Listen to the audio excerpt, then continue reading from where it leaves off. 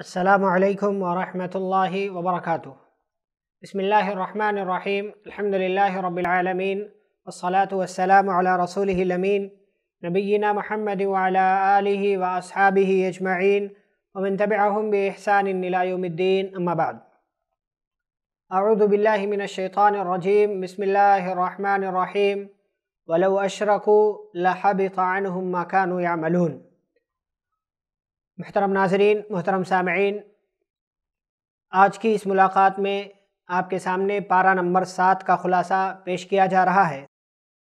इस सूरा की इब्तदा में अल्लाह रब्लमीन ने हबशा के बादशाह नजाशी का तस्करा किया है कि जब हज़रत जाफ़र कि जब हज़रत जाफ़र रज़ी अल्लाह ने उस बादशाह के दरबार में कुरान मजीद की आयतें पेश की तो इस कुरान की सदाकत और इसकी हक्कानियत को समझ कर वो बादशाह रो पड़ा। उसी की तारीफ़ में अल्लाह ने सातवें पारे की पहली आयत बयान की वहीदा समा रसूल तरा आयुन उसके बाद अल्लाह रबालमीन ने आयत नंबर 87 में, यानी जो सूर्य माहिदा की आयत नंबर 87 है, उसके अंदर फरमाया, या अयुहल्लिन आमन तो तय्यबात मा अहल्लकुम खुलासा इसका यह है कि ईमान वालो, हलाल को हराम मत करो। किसी भी वजह से, जिस चीज़ को अल्लाह ने आपके लिए हलाल करार दिया है, उसे आप अपने लिए, अपने ऊपर हराम मत करें। यह अल्लाह रब्लमीन की तालीमत के ख़िलाफ़ है। फिर अल्लाह ने आयत नंबर 89 में कसम के कफ़ारे का तस्करा किया है कि अगर कोई किसी बात की कसम खा लेता है, अच्छी बात की कसम खाता है, लेकिन उसको पूरा नहीं करता तो उसका कफ़ारा देना पड़ेगा। इसी तरीके से अगर कोई किसी गलत बात की कसम खा लेता है तो उस गलत काम को तो वो पूरा नहीं करेगा, बल्कि वो उस कसम का कफ़ारा अदा करेगा। अब कफ़ारा क्या है? अल्लाह ने कहा फ़कफ़ारा तो इतामशरत मसाकिन मिन अवसती मातमून अहलिकुम अव किस्वत अव तहरीर रकबा। कहा, या तो दस मिसकिन को खाना खिलाना, या उन्हें कपड़े पहनाना, या एक गर्दन आज़ाद करना, एक ग़ुलाम आज़ाद करना। फ़मल यजिद फ़सयाम सलासती अयाम अगर कोई ये काम नहीं कर सकता तो वो तीन दिन का रोज़ा रख ले, ये उसके कसम का कफ़ारा है। फिर उसके बाद अल्लाह रब्लमीन ने शराब, जुआ और किस्मत का हाल मालूम करने के जो तरीक़े और वसाइल हैं, उन तमाम को इस्तेमाल करने से मना किया आयत नंबर 90 और 91 में।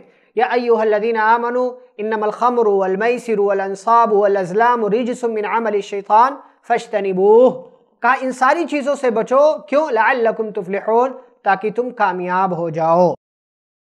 फिर अल्लाह ने हालत अहराम में शिकार का क्या मसला यानी अगर कोई उम्र या हज के लिए जा रहा है अहराम की हालत में है तो वो शिकार कर सकता है कि नहीं कर सकता? अल्लाह ने कहा, या अयुहल्लिन आमनुला व फरमा अहराम की हालत में तुम शिकार नहीं कर सकते।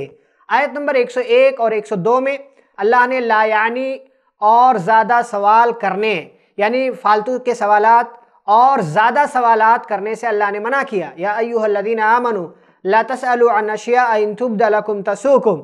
कहा आई मान वालो, ज़्यादा सवाल करने से बचो। इसलिए कि ज़्यादा सवाल करना ये अल्लाह को पसंद नहीं है। जैसा कि प्यारे रसूल सल्लल्लाहु अलैहि वसल्लम ने हदीस के अंदर बयान किया इन अल्लाह हर्रम अलैकुम उक़ूक़ुल वमन अन वहात वकरिह लकुम वक़ाल वकसरत सुवाली माल जिसके अंदर एक चीज़ है कि अल्लाह के नबी सलाम ने फरमाया कि अल्लाह ने तुम्हारे लिए बहुत ज़्यादा सवाल करने से मना किया है, तुम सबको लिहाजा तुम्हें कसरत सवाल से बचना चाहिए।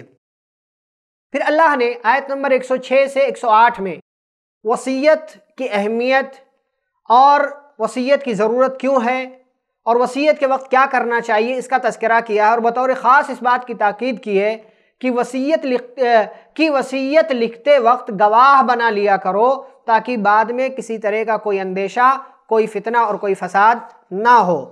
फिर अल्लाह ने आयत नंबर 114 से 120 में माइदा की तफसीर, जिसके नाम पर यह सूरा है, फिर अल्लाह का सवाल और हज़रत ईसा सलाम का जवाब, यानी जब हज़रत ईसा सलाम से अल्लाह पूछेगा कि या ईसब न मरियम तकुलतलन्नासितखिदूनी व उम्मी इलाहैन मिंदूनिल्ला कहेगा, अल्लाह रब्बुल के ऐसा क्या आपने अपनी उम्मत के लोगों को इस बात का हुक्म दिया था कि मुझे और मेरी माँ को अल्लाह को छोड़कर मबूद बना लो?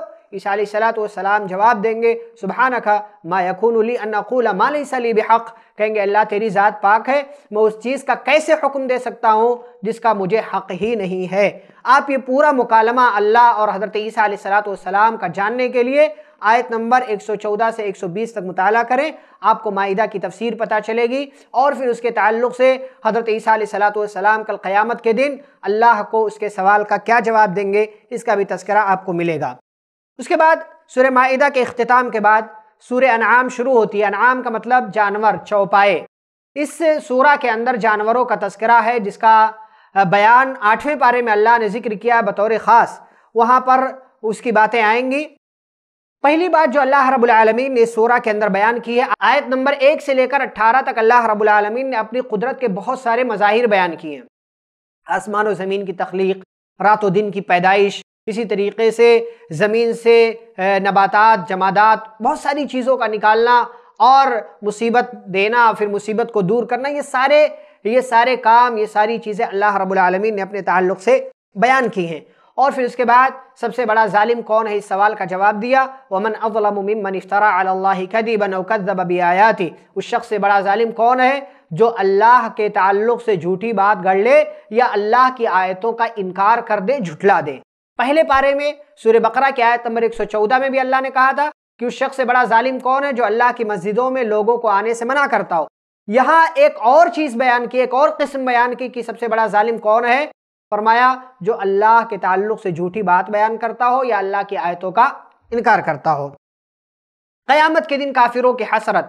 कद खसर अल्लदीन कदबू बिलिका जो लोग आज अल्लाह की मुलाकात का इनकार करते हैं, वो क़यामत के दिन अफसोस करेंगे हती इदाजात बगतन कालू या हसरतना अलामा फ़र्रतना फिया जो भी ज़िंदगी में किया है जो कुछ करके आए हैं उस पर अफसोस करेंगे इसलिए आपके पास मौका है आपके पास अभी अफसोस का वक्त नहीं आया है कहीं ऐसा ना हो कि आपकी ज़िंदगी भी ऐसे ही गुजर जाए और जब मौत का वक्त आए क़यामत का दिन आए तो आपको अफसोस करना पड़े इसीलिए हमें आपको हम सभी को अपनी असलाह करनी चाहिए अम्बिया और रसूलों की बेसत का मकसद और अल्लाह का अपने नबी सल्लल्लाहु अलैहि वसल्लम से ख़िताब बहुत सारी चीज़ें अल्लाह ने ज़िक्र की हैं आयत नंबर 48 से लेकर 58 तक। और फिर अल्लाह ने आयत नंबर 59 से 65 तक मफातिहुल गैब का मालिक कौन है इसका तस्करा किया। कि अल्लाह के पास गैब की कुंजियाँ हैं जिसका इल्म उसके सिवा किसी को नहीं है। यहाँ तक कि ज़मीन में अगर किसी दरख्त से कोई पत्ता गिरता है उसकी भी खबर होती है उसको वाला हब्बत इनफ़ी अर्दी ज़मीन में कौन सी जगह कौन सा दाना जा, डाला जा रहा है। इस सब का भी अल्लाह रब्बुल आलमीन को इल्म होता है, कौन कहाँ कब कैसे दफनाया जा रहा है, इन सारी चीज़ों का अल्लाह रब्बुल आलमीन को इल्म होता है। तो उसके कमालात क्या हैं, उसकी खसूसियात क्या हैं, ये अल्लाह ने आयत नंबर 59 से 65 में बयान किया है।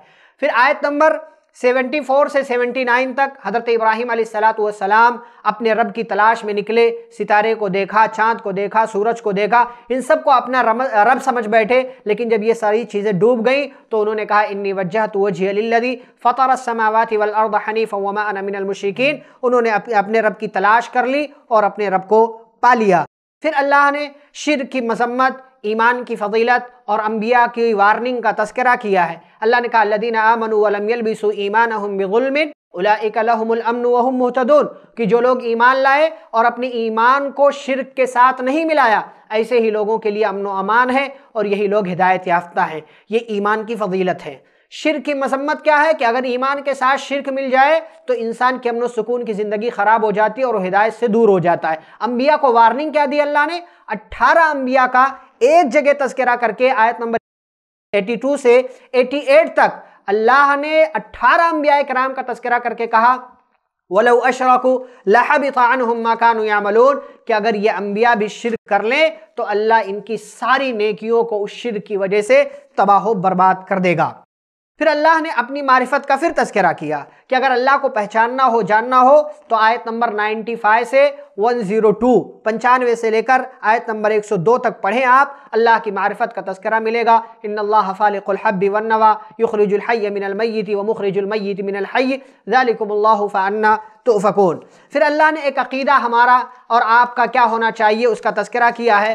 फरमा तुदरिकुल अबसार वह हुआ युद्रिकुल अबसार वह हुआ बहुत सारे लोग ये समझते हैं कि प्यारे रसूल सल्लल्लाहु अलैहि वसल्लम ने अल्लाह का मराज के सफ़र में दीदार किया था, देखा था। गलत अकीदा है। अल्लाह ने बयान किया कि निगाहें उसको नहीं देख सकती, बल्कि वो सारी निगाहों का इदराक रखता है, उसे मालूम है।